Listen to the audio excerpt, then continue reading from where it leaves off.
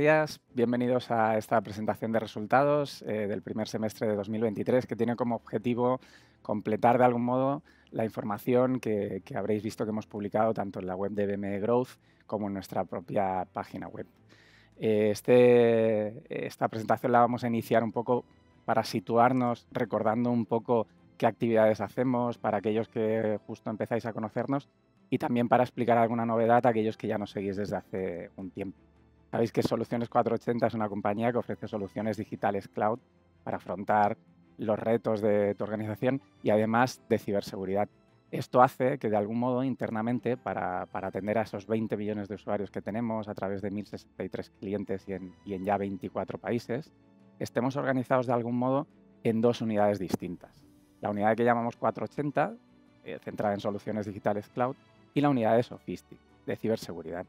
Ahora entraremos en detalle, pero veréis que cada una de ellas pues, eh, tiene un mix de producto distinto, se encuentra en un punto de maduración a nivel de mercado, de desarrollo, de márgenes de crecimiento muy diferente e incluso actúa en áreas geográficas eh, muy diferenciadas.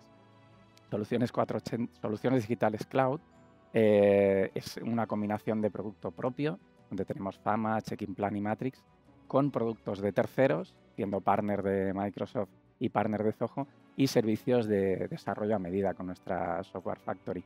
Está centrado principalmente en España, aunque abriendo mercado en LATAM a través de nuestra red de partners y se caracteriza por tener una, una rentabilidad muy elevada y unos crecimientos muy correctos también para una combinación realmente muy buena. Es, digamos, el motor de generación de caja que nos permite eh, tener todo el equipo que tenemos disponible para seguir desarrollando nuestro proyecto, no solo en esta unidad de, soluciones cloud, sino también eh, generando recursos para seguir desarrollando nuestro negocio en ciberseguridad. Ciberseguridad, una unidad pues, eh, centrada en, en, servicios de SOC, con tres SOC recurrentes en España, Panamá y Colombia, ofreciendo servicios de auditoría, seguridad activa y detección y respuesta en tiempo real eh, trabajamos para clientes de primer nivel, en, sobre todo en Latinoamérica, pues bancos, eh, compañías de infraestructuras críticas como hospitales, aeropuertos, eh, compañías energéticas. Y estamos creciendo a unos ritmos muy, muy elevados. El año pasado cerramos con un crecimiento del 114% y esta primera mitad de año en un 55%, que no significa que se haya desacelerado el ritmo. De hecho, en, en valor absoluto seguimos creciendo incluso por encima que el mismo periodo, que, este mismo periodo, pero el año anterior. Como veis, son dos unidades muy diferenciadas, una con un negocio digamos más estable, más maduro y listo para escalar, y otra donde estamos centrándonos de momento, por el momento, mucho más en el crecimiento. Dicho esto, pasamos a destacar los, los KPIs más importantes de este primer semestre. Muy satisfechos con ese millón de EBITDA alcanzado en seis meses, un EBITDA que viene sin ajustes. Veréis que la documentación que hemos publicado en nuestra página web y en la web del BME no hablamos de EBITDA recurrente pro forma, sino de EBITDA a secas. Es un EBITDA limpio que hemos alcanzado ya en este primer semestre, muy satisfechos, con una evolución del 56% respecto al EBITDA alcanzado en el primer semestre del año anterior. Algo realmente destacable, teniendo en cuenta que además lo combinamos con un crecimiento importante a nivel de ingresos.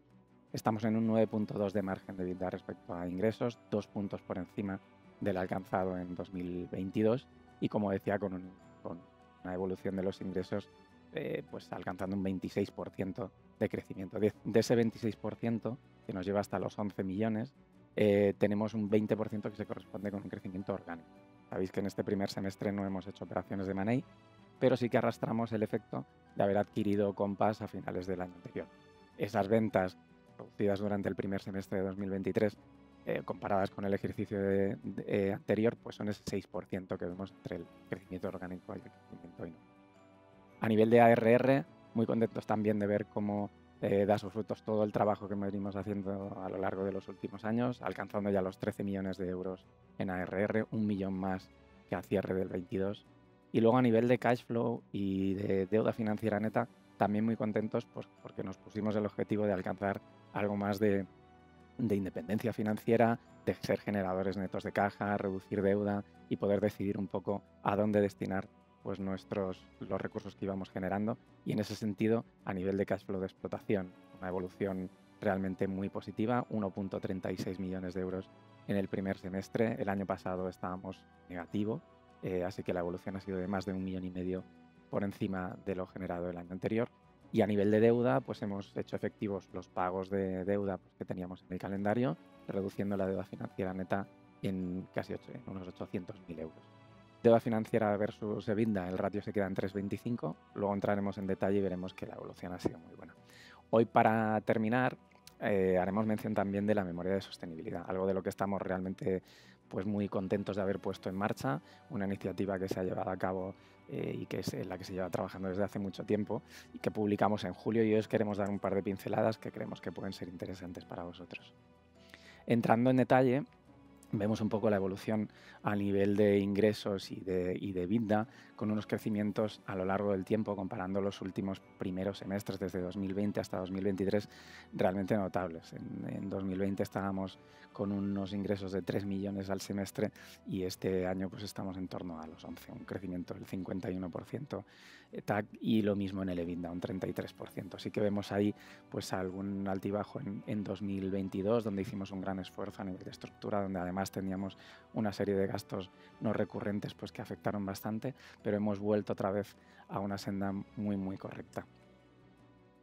Eh, en cuanto al crecimiento orgánico e inorgánico, yo ya os lo he comentado digamos, eh, anteriormente, pero es, destacable pues, que estamos pues, creciendo un 20% de forma orgánica a nivel combinado. Como venía, veíamos antes, el crecimiento de ciberseguridad es mucho más acusado, o sea, allí estamos creciendo mucho más, mientras que en el resto de unidades pues, es un poco más comido. En combinación, pues un 20% combinado con, con unos márgenes de venta pues, ya del 9% sobre ventas, realmente pues eh, muy, muy contentos con lo, con lo desarrollo.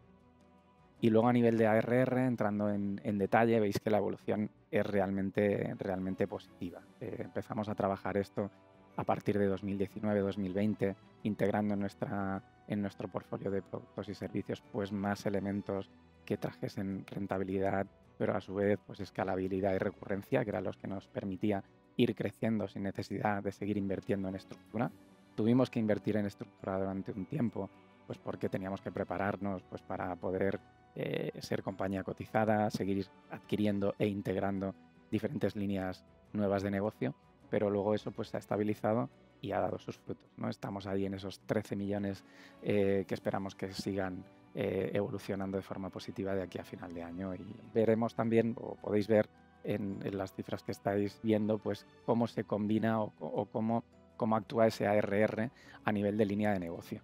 Hay líneas de negocio que el ARR está por encima del 50%, incluso llegando al 90%, como es el caso de Sophistic. Son las líneas de negocio de Facility Management con Fama o Facility Service con Checking Plan, productos propios donde vendemos principalmente licencias y donde la implantación no pesa tanto respecto al, total del volumen que facturamos. Y luego tenemos otras como SGE, o Compass, que son nuestras líneas de partnership con Microsoft y con Zoho, donde a pesar de que lo que vendemos realmente son, es un producto recurrente y son licencias, el peso todavía de la consultoría, de la, de la implantación y de la consultoría adicional que se va produciendo, pues todavía es importante. Y ahí digamos que la RR el ingreso recurrente tiene un peso inferior. A nivel de diversificación, sabéis que también hemos puesto el foco ahí, no solo en diversificación geográfica, que es por lo primero eh, de lo primero que hablaremos, sino también a nivel de diversificación a nivel de clientes. Eh, a nivel geográfico eh, estamos muy satisfechos con el, con el desempeño. Llevamos al 31% de los ingresos eh, procedentes fuera de, fuera de España, cuando en 2022 nos situábamos en el 26%. Todavía en España estamos en el 69%, pero sobre todo en Latinoamérica y gracias a, a la evolución y al performance que tiene nuestra unidad de ciberseguridad, principalmente trabajando allí, ya lo hemos dicho, pues para compañías de primer nivel como bancos, infraestructuras críticas, hospitales y demás, pues eso está cogiendo cada vez digamos, más, más fuerza. ¿no? A nivel de base de clientes, también nos hemos preocupado los últimos años pues, por no depender de un cliente y, tener una base lo más diversificada posible. En ese sentido hemos conseguido que nuestro mayor cliente, a pesar de ser muy importante para nosotros, evidentemente, pues su peso relativo respecto al total es de un 3%, el top 5 clientes está en el 12% y el top 15 en el 28%. Eh, creemos que son cifras muy razonables, que además, pues como veíamos antes, pues no están centradas en un solo país, sino que son clientes que están repartidos en 24 países. ¿no? Em, ahora lo que vamos a ver, y me quiero detener un poco en estas cifras, eh, lo veréis con más detalle en lo que hemos publicado eh, en, nuestra página web y en BME Growth pero eh, quería detenerme un poco porque es eh, en la cuenta de resultados donde podemos ver un poco más el esfuerzo que ha llevado a cabo la compañía y el éxito que ha tenido en tratar de mejorar a nivel operativo. ¿vale? Eh, su estructura de costes, digamos que es mucho más, mucho más eficiente. Hemos logrado crecer en ingresos un 26%, sin embargo, a nivel de gastos de personal solo hemos crecido un 16%. Es algo que ya apuntábamos en ejercicios y en semestres anteriores, pero que empieza a verse de forma, de forma más notable.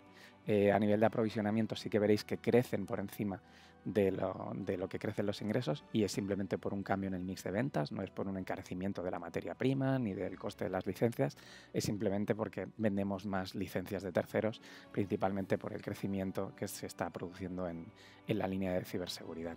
Nuestro EBITDA crece un 56%, como hemos visto anteriormente, así que son cifras realmente, realmente buenas. Crecer, combinar crecimiento con rentabilidad no está al alcance de todo el mundo y 480 pues, ha conseguido pues, a lo largo de estos ejercicios preparar su equipo, preparar sus estructuras, optimizar sus procesos pues, para conseguir digamos, estas, estas cifras. Adicionalmente, recordar también, tenéis más datos, como digo, en el informe que hemos publicado, pero recordar también que tenemos dos compañías participadas, que son Pavabits y Matrix. Matrix principalmente, una compañía que ofrece servicios de OCR y gestión documental centrados para el mundo de, en el mundo de las asesorías y gestorías. Y ahora vamos a ver la evolución entre el EBITDA y el resultado y el resultado neto del ejercicio. En EBITDA estamos en, ese millón de euros del que hemos dicho, mejorando mucho pues, pues estas mejoras operativas que hemos comentado. Esa mejora hace que cada vez el EBITDA sea mayor y las amortizaciones cada vez impacten de forma, de forma más suave, de forma tal que nuestro resultado, aún siendo negativo en 100.000 euros, es mucho mejor que en el mismo periodo del año anterior donde estábamos en 400.000 euros.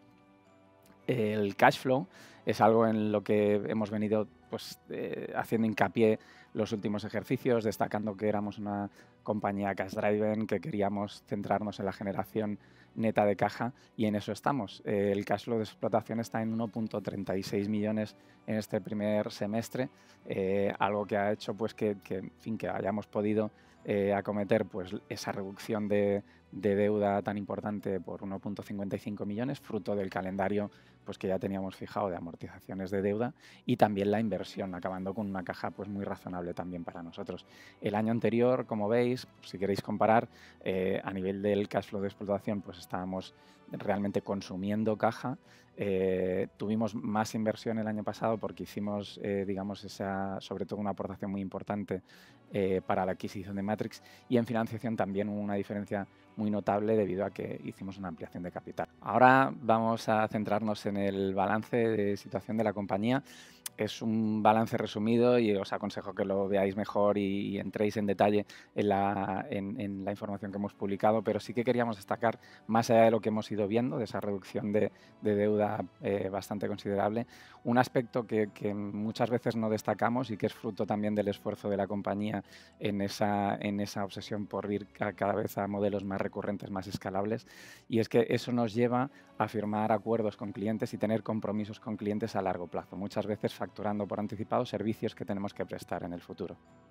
¿Qué quiero decir con eso? Que cuando haces este tipo de, de actuación, muchas veces, en nuestro caso, pues generamos unos pasivos, en este caso por 5 millones de euros, que es muy considerable. Esos 5 millones de euros que tenemos en el pasivo, que son?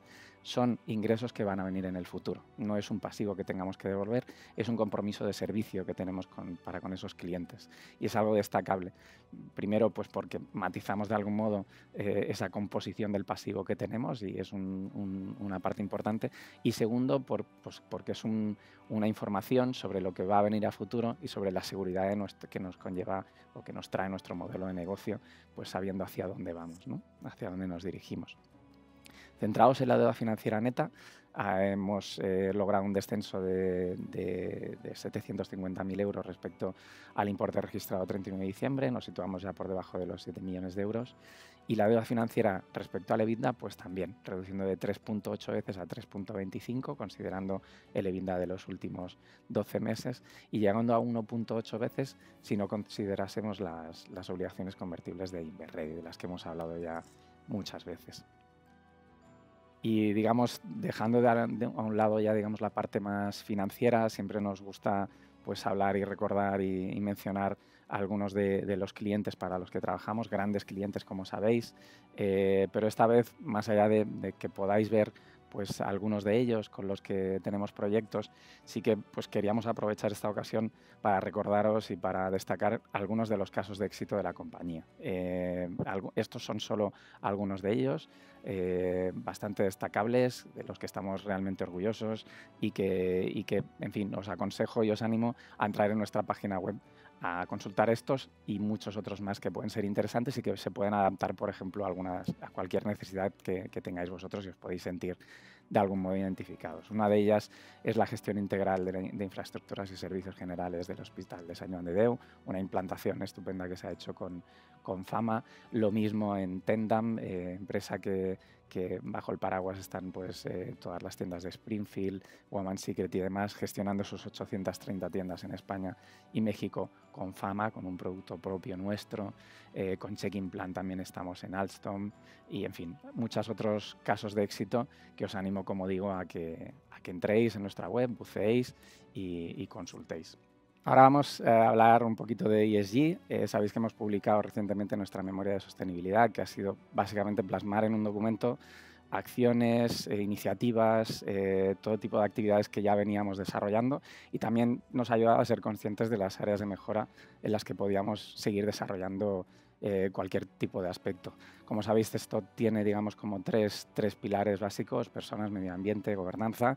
A nivel de personas, hemos recibido ya este año, por cuarto año consecutivo, eh, nuestro sello Great Place to Work, fruto de que estábamos haciendo bien las cosas, fruto de que nuestro, eh, las iniciativas que estamos llevando a cabo en materia de conciliación laboral, en materia de formación con nuestro centro de alto rendimiento o con nuestros planes de retribución flexible y algunas otras actividades más, pues hacía que, que bueno, las personas, que son al final el, el núcleo de nuestra organización, pues se sigan siendo, sintiendo cómodas aquí y sigamos teniendo ratios de rotación realmente eh, bajos respecto a lo que se produce en nuestro, en nuestro sector. En materia de medio ambiente, pues somos una compañía realmente implicada con con todos estos aspectos, con nuestra ISO a través de FAMA en materia medioambiental, impulsando el ahorro energético y llevando a cabo algunas otras actividades. Para este 2023 estamos impulsando dos, dos, temas importantes. Una es el canal ético y por otro lado el programa de cooperación social, a través del cual queremos digamos, poner orden en todas aquellas actividades, iniciativas que nos resultan interesantes a nivel social y en las que queremos estar participando. Y en materia de gobernanza, destacar que seguimos siendo una compañía con una estructura sólida y estable, siendo una compañía muy transparente, publicando información financiera y de negocio periódicamente a través de todos nuestros canales. Y una compañía abierta la participación del accionista. En este sentido, os animo a todos a que entréis en nuestra sección de accionistas dentro de nuestra página web. Os deis de alta para recibir periódicamente nuestro newsletter con información no solo financiera, sino también de negocio, que seguro va a ser de vuestro interés y que si tenéis cualquier otra duda os pongáis en contacto con nosotros a través del correo electrónico de Atención Accionistas que encontraréis reflejado en este vídeo. Sin más, muchísimas gracias por vuestra atención. Nos vemos pronto.